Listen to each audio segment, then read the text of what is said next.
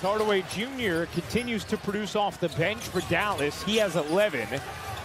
James got it out to Caldwell Pope. Caruso! Oh, You didn't know he had that in his bag, did you?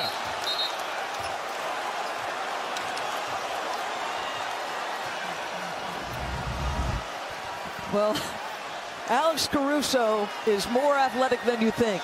And he worked hard on his body. He goes to the rim with authority and leaves no doubt.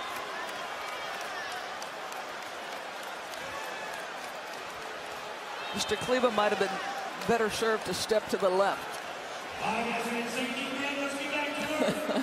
we like that, folks.